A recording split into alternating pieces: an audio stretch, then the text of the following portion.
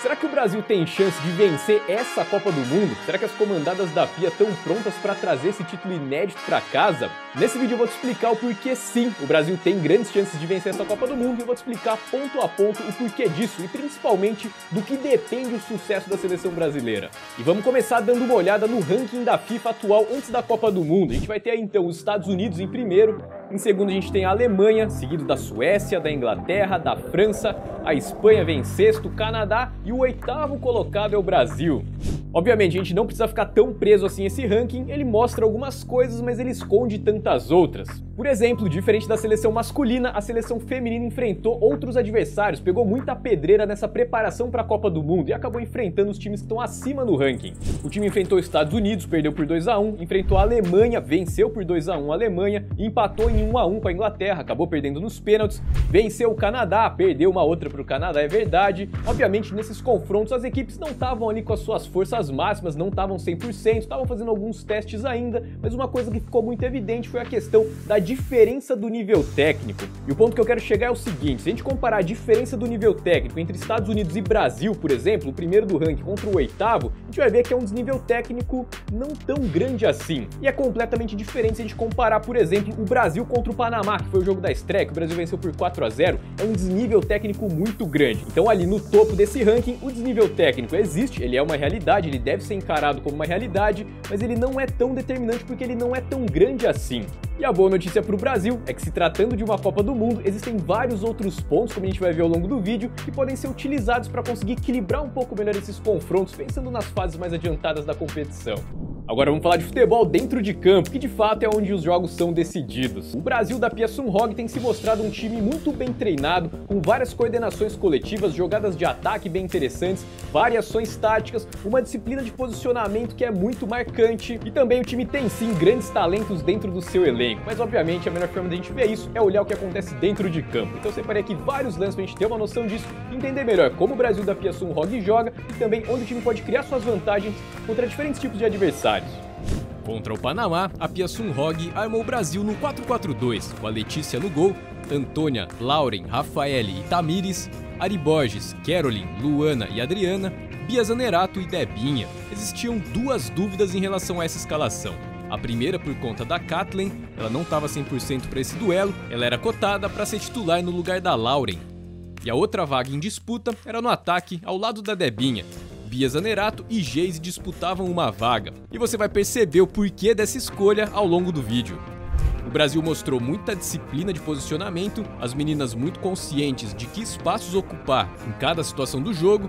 Por exemplo, com a bola, esse era o posicionamento do time. Destaque para Adriana e para Ari Borges, que sem a bola elas defendiam pelos lados, mas com a bola elas iniciavam a jogada pelo meio. Mas não é um posicionamento puramente aleatório, existia um objetivo bem claro. As atacantes puxam a linha defensiva do Panamá para trás e as volantes e as laterais atraem a marcação da linha do meio para criar justamente mais espaço entre as linhas de marcação. O Brasil tentou bastante explorar esses espaços e apresentou outras dinâmicas que partiam desse posicionamento inicial. A primeira dinâmica partindo dessa estrutura é a movimentação da Caroline, frequentemente ela invadia o bloco de marcação adversário para tentar os ataques, e ela buscava sempre se aproximar da Bia Zanerato. Nesse lance, a Lauren faz o lançamento, Bia Zanerato resvala de cabeça, a famosa casquinha, enquanto a Caroline ataca tentando superar a defesa do Panamá. Aqui mais uma vez ela busca o espaço entre as linhas de marcação, como nenhuma adversária acompanha sua movimentação de perto, ela acaba gerando dúvida na defesa essa movimentação da Caroline atrai a defensora e a Gabi Nunes fica completamente livre. O que o Brasil mais tentou ao longo do jogo foi justamente invadir a defesa do Panamá tocando a bola. A dinâmica desse lance, inclusive, foi muito repetida. Com o espaço entre as linhas já criado, a Bia Zanerato recuava e a Caroline aparecia por ali, a Lauren fazia o passe para a Bia, que deixava sempre de primeira com a Carolyn, que recebendo de frente estava melhor posicionada para armar o jogo do que a Bia. E aí sai aquela famosa tabela de três jogadoras, e na sequência a tentativa de armar a Debinha nas costas da defesa para tentar uma finalização.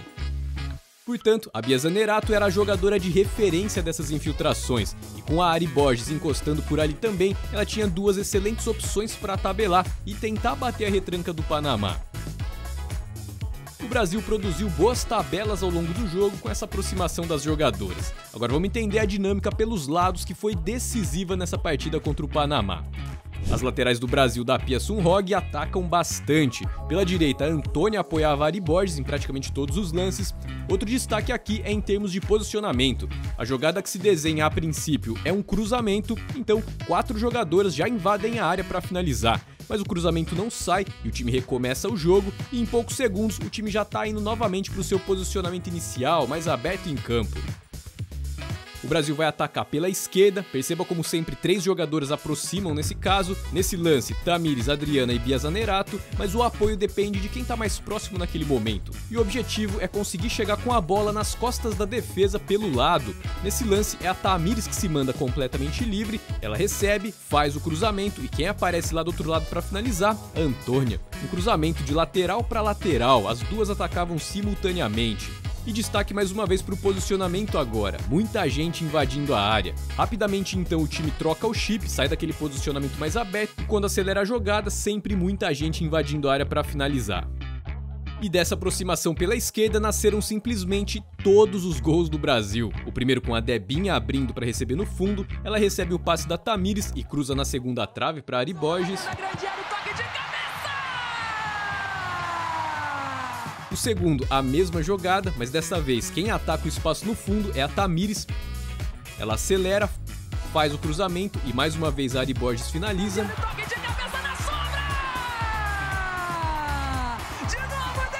E o terceiro, mais uma vez, com a Debinha chegando no fundo. São oito jogadoras que jogam na Liga Norte-Americana. Debinha! Tocou no meio da Adriana na categoria pra Debinha. O cabelo da grande era pra fazer mais um. E o quarto, Passe à frente para Gabi Nunes. Devolveu para Tamires. Abriu com a Geise. Encara a marcação. Cruzou com o pé direito. De cabeça pro quarto. Então, como você pode perceber, é uma excelente notícia. O Brasil é sim um time bem treinado e tem sim grandes talentos ali no seu elenco que podem desequilibrar uma partida. E aliás, mesmo que sejam lances do jogo contra o Panamá, algumas dinâmicas ali são muito interessantes porque mostram essa coordenação coletiva. Então, se for repetida contra outros sistemas defensivos, outros times que se expõem um pouco mais, essas jogadas podem sim ter outros resultados, mais positivos inclusive. Então, nem acaba sendo aquela questão de se empolgar demais com um resultado contra um adversário fraco. O que acaba empolgando um pouco mais vendo a seleção brasileira é a forma como o time está jogando. Essa coordenação coletiva é muito interessante, o que mostra que esse time está muito bem treinado. Agora, obviamente, nem tudo são flores. O Brasil contra o Panamá mostrou alguns comportamentos que podem ser explorados. Obviamente, o Panamá não tinha muita força para explorar isso. Mas se você pegar uma equipe que tem um bom plano, que percebe essas vulnerabilidades do Brasil, que tem uma boa saída em contra-ataque, consegue encaixar melhor um pouco a marcação-pressão, você vai perceber vendo aqui os próximos lances que essa pode ser uma vulnerabilidade a ser explorada na seleção brasileira. Muitas vezes no futebol, a grande força de um time pode acabar se transformando em sua maior fraqueza. Como a gente viu, a forma como o Brasil se posiciona para atacar gera muitas vantagens para o time.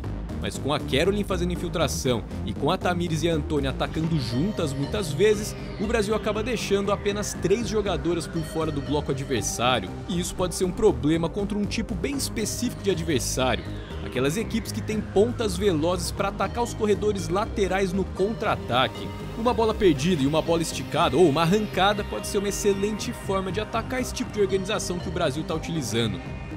Então, nessa partida, o Brasil acabou executando uma das combinações mais perigosas do futebol.